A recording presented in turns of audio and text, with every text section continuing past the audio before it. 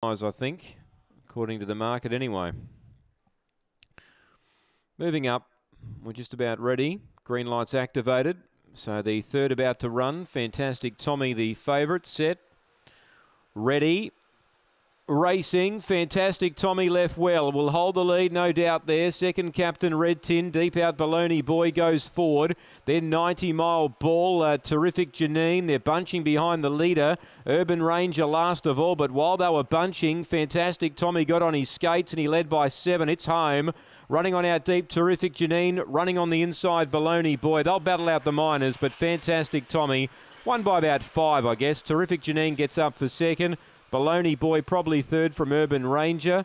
Then Captain Red Tin and 90 Mile Bull was last in. Time's good 25.63. Money spot on there.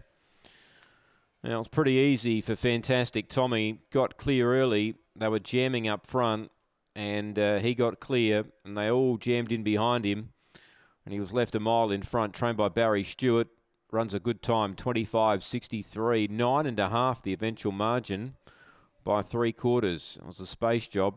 Terrific Janine gets home into second.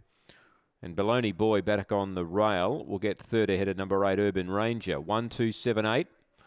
Run home in eight ninety eight. Money suggested he would win. Two eighty into a dollar fifty. It's a pretty good lead, and it's won easily. Nine and a half. The margin one, two, seven, eight, twenty-five, sixty-three. The gallop and it's nine and a half the margin here. On the third, race four is the Weblek Ace Grade 6 Series Heat. That race time to go at 5.58, 5.58, which is about 14 minutes away.